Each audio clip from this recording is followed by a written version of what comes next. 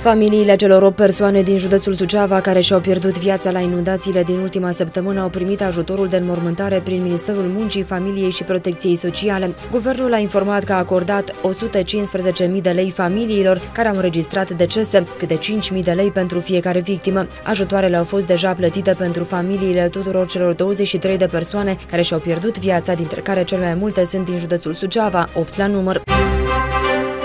Conform unei informări a sistemului de gospodărire a apelor Suceava, nivelul râului Siret pe teritoriul județului Suceava a coborât sub cotele de pericol și este în scădere. În localitățile afectate de inundații și în care locuitorii au fost evacuați conform ordinului prefectului, apele s-au retras, iar oamenii au revenit la gospodării. La nivelul instituțiilor Ministerului Administrației și Internelor care asigură ordinea și siguranța publică, nu au fost semnalate fapte care să pună în pericol bunurile locuitorilor evacuați din zonele afectate.